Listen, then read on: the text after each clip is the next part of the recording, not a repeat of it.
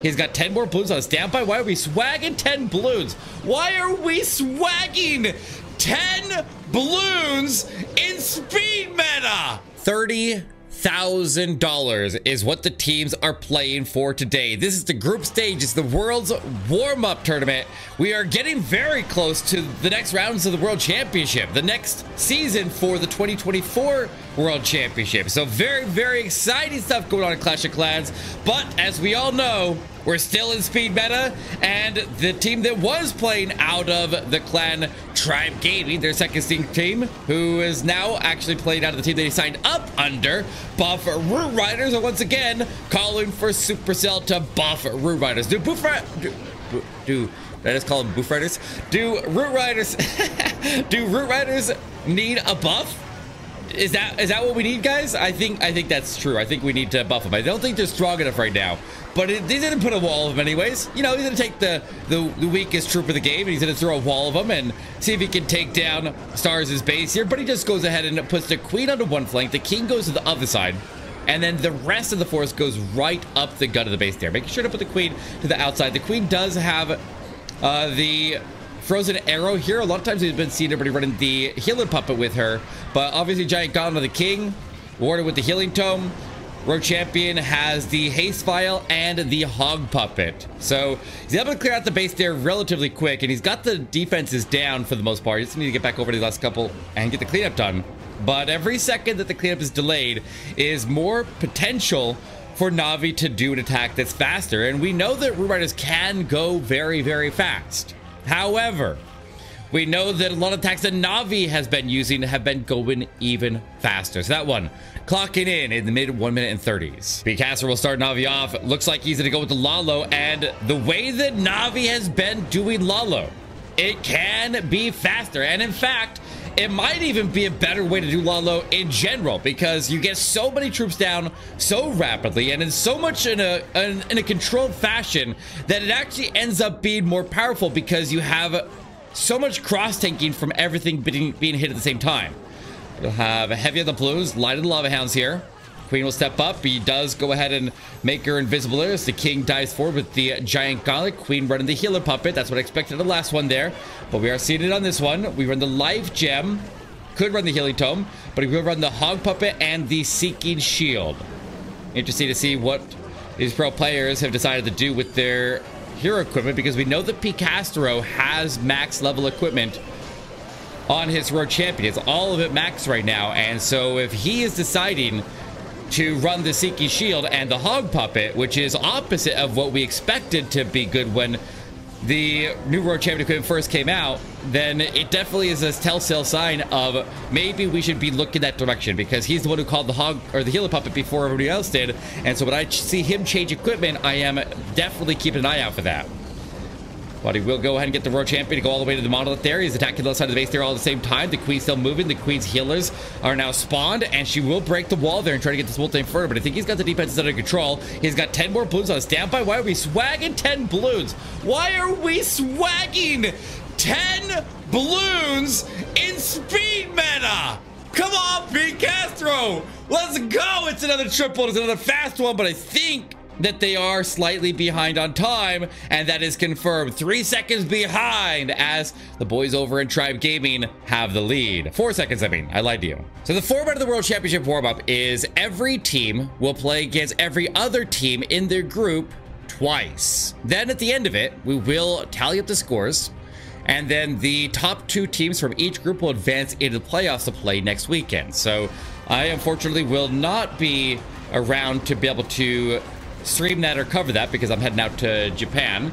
And I guess by the time this video goes live, we will already be in Japan, or maybe it's still today. I don't know.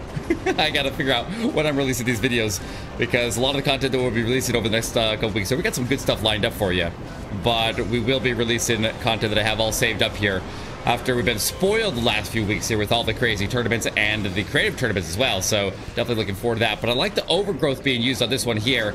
Delays the fire from the Eagle Artillery while he makes the initial approach and some of the initial defenses. And then he ends up having the overgrowth wake up right at the same time that he arrives to the core. That's how we want to use it when we're using it in a spam attack. And with Root Riders being spammed here, obviously that's what they're doing.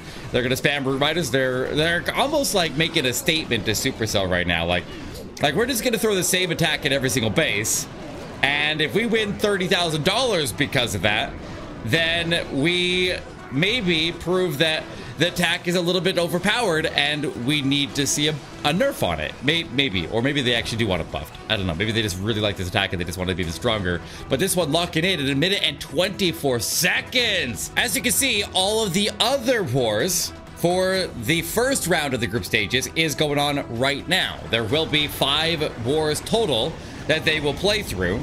And that's, I guess, uh, no, wait, six. I lied to you. There will be six rounds total that they will play through. Seeing as they have to play every other team in their group twice. And so we'll see how that plays out here. But it looks like Gaku gonna take a page out of Buff Riders book there, and he's breaking out the Root Riders and Valkyries and the Super Barbarians as well, just attacking in at the left side of the base there first. Got the Eagle Artillery down relatively fast and will make his way towards the Town Hall. The Queen goes to the outside, skeleton spells, lining the top of the base there around the Monolith, the Defensive King, and the Defensive Grand Warden. Put it in the headers over there, and a couple of Super Barbarians to push the Queen inside of the base there. Looks like they are easily getting that area of the base there under control. Good, good setup here. He's got to get to the backside of the base here. The World Champion goes to ability relatively early. Running the Hog Puppet to the Haste Vial there. Warden was running the Healing Tome. Queen running the Frozen Arrow on this one. And the King running the Giant Gauntlet, popping off right there and surge his way forward. Queen handling the top corner of the base there like a champ. And he's got the right side under control as well. The World Champion does survive. She does push her way through. The Hog Puppet giving her tanking. He's got the Siege Barracks there. He's got Skeleton Spells. And look at the attack time of this one. We got to check the times on this one as it locks in almost exactly the same as Buff Root Riders, aka Tribe Gaming. And it looks like right now, Navi is three seconds behind. Extrapolate over two attacks is six seconds total. Unfortunately, for X Team Early Bird, Homura had a one star. They are in rough waters there against VM Legacy, but let's move into Ari. Ari gonna put the Super Barbarians away, just going with Pierre Riders and Valkyries. This is very similar to the army that I've been using in Legend League, and I very rarely miss with it. Usually, if I miss, it's my own fault. Usually because I don't attack the Eagle Artillery side of the base first, and he's gonna he's gonna end on it. He's gonna take fire all the way through the base. We'll see what he can do with it. Got a rocket balloon and ice golem set coming out to intercept his main force here. The queen goes to the right flank. Siege Barracks goes to the left flank. Everybody else goes right up the gut of the base and will approach the town hall without it activated there. But the siege barracks releasing more Valkyries. If he didn't have enough Valkyries already, he has more joining in now. Got the wizard staying protected, but the champion takes heavy, heavy fire on that left flank there, and she gets wrecked. She gets forced to ability right away. Running the Seeking Shield and the the Royal Gem right there, but this is slowing down. This is slowing down. This is slowing to a crawl. The Riders are slowing to a stop. This is a miss. He's not going to make it. The artillery doing way too much damage all the way to the base there.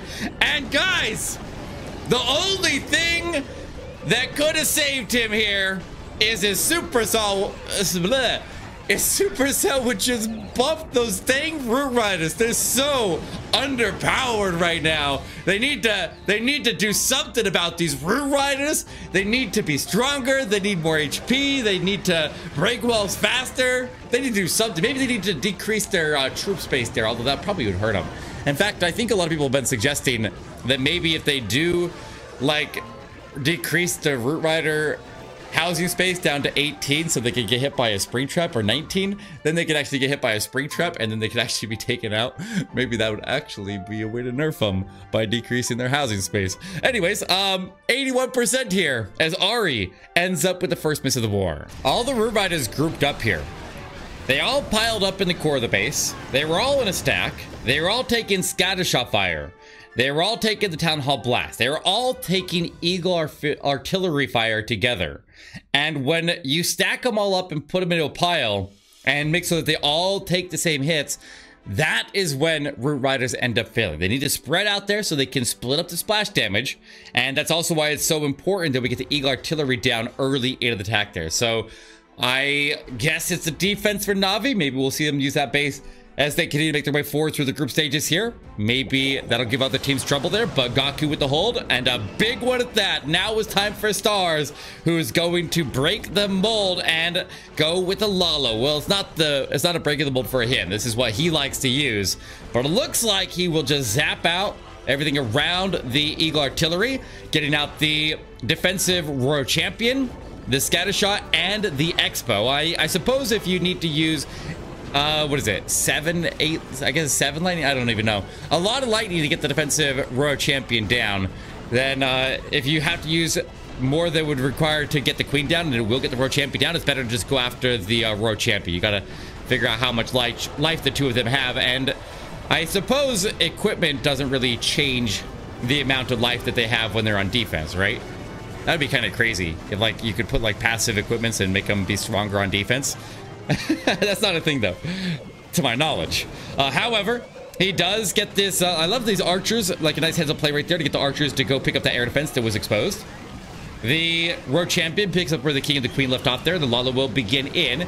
He doesn't have to rush this. He doesn't have to attack every side of the base there at the same time. He can let the heroes develop, let them get their job done, and then he can put Lalo in. And I don't know. It's debatable whether that is a stronger way to handle it or not. But at least he is guaranteed to make sure that he has time to make sure that the Clan Castle troops are dealt with before he's forced to just set the next phase there. So slow it down. And because of the miss there out of Tribe Gaming, he has time to work with. But the World Champion make your way to the Multi Inferno, drop into the Yeti Bomb there, able to secure the Talent takedown. Gotta get the Eagle Artillery down. Eagle Artillery is late to go down here. Saved an attack there, but that is hitting a smaller pack of balloons up north there. Gotta get the Defensive World Champion down as well. Got her down right now. Or, excuse me, Queen. That was the Queen. He's got the Hog Puppet there for the World Champion with the Haste Vial. And that gets her to join the backside there. She survives into the end. He's got the Life Gem, Frozen Arrow, and then, of course, the Giant Gauntlet. And you, you know what's interesting? As we see all of this max equipment from all these players, there's one piece of equipment that we still don't see, and I predicted it the fireball. We just do not see the fireball because when we do have a chance to use it, it is a slow setup. And so maybe, maybe, maybe at some point we'll see it, but not today. There are three wars that are currently in double perfect war territory. We got the Psycho Esports Imperium Titans, Jero Jero versus Agnistars, and Stalwart versus Early Attack. So all those are still with the potential to go to time. And so that's why we're always conscious of that, but we can slow it down here. We can make sure we get the triples, and right now, Buffer Riders needs to make sure this one goes through, and then they somehow have to stop Klaus. And that's not an easy task to do, especially when he's not being rushed and forced into attacking as fast as possible, and maybe going into something that would be out of his comfort zone. Is anything in Clash of Clans out of Klaus's comfort zone? Maybe a queen charge, you know? I think that's the only attack that he doesn't use. He does like everything with like hero dives, but he doesn't do queen charges. However, Thomas is gonna get his queen to turn into a queen charge here as he pops the healer puppet. He'll attack the top of the base there with the balloons, with the warden protecting the balloons on the entry of the base there. Also the headhunters, but the headhunters hit a spring trap right there. I saw him get launched off the board, but he still has enough survive to get the defensive world champion down. And he protects the blimp. The blimp drops in a Yeti Bomb. Yeti Bomb takes the town hall. And he frees up left side of the base there, protecting not only his Blues from the Multi Inferno, but also the Royal Champion moved to the left side of the base there that was getting hit by the Ricochet Cannon. But the Ricochet Cannons are quickly handled when we run the Hog Puppet. Actually, Hog Puppet does a fantastic job of keeping the World Champion relatively safe. Oh.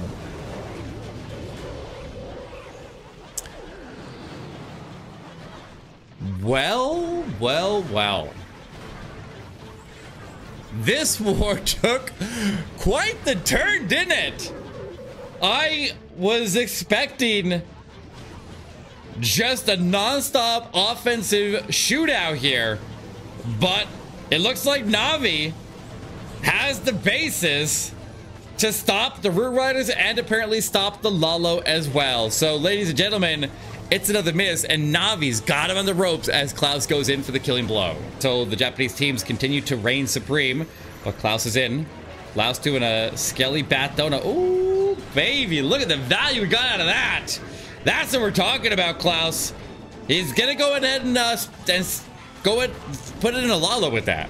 If I can speak, words are hard right now.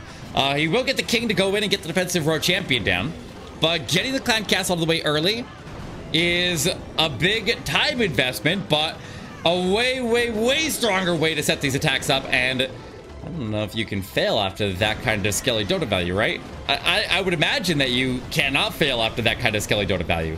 But it looks like Klaus will make his way in and get the Eagle Artillery down. King takes the lead. Got some Giants tossed in the mix there as well.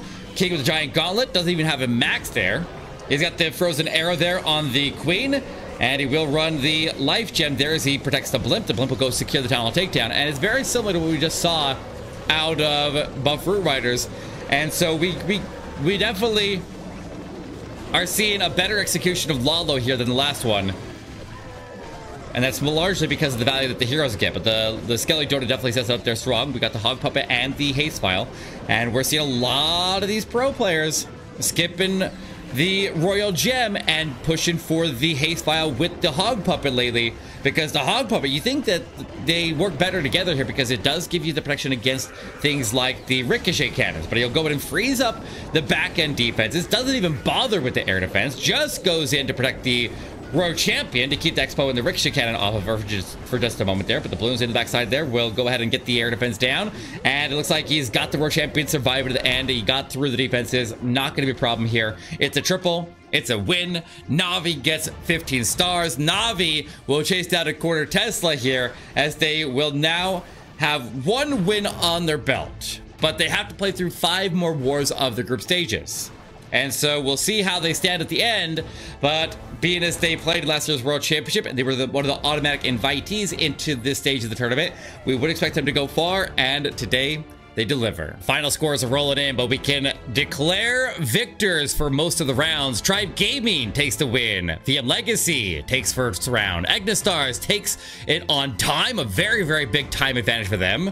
Psycho Esports able to get the perfect war against Imperium Titans. We're still waiting on Stalwart Esports. We're waiting for that one to log right there, but we see that Synchronic dominates on defense against Alex Seed. Navi dominates on defense against Buff Root Riders, and VA Esports is Navi's next opponent.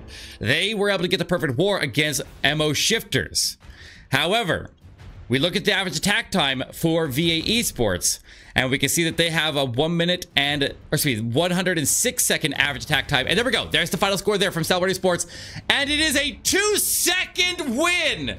Two seconds split there between Stalwart Esports and early attacks. Oh my god, look at the attack times of Stalwart Esports and early attacks there compared to every other team. Stalwart Esports is our current defending world champion and they locked in an average attack time of 1 minute and 32.2 seconds.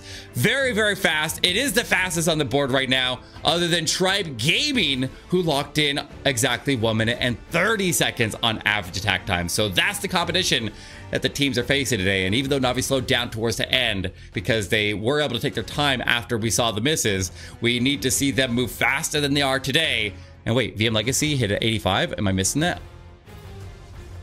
Uh, yeah, you're right.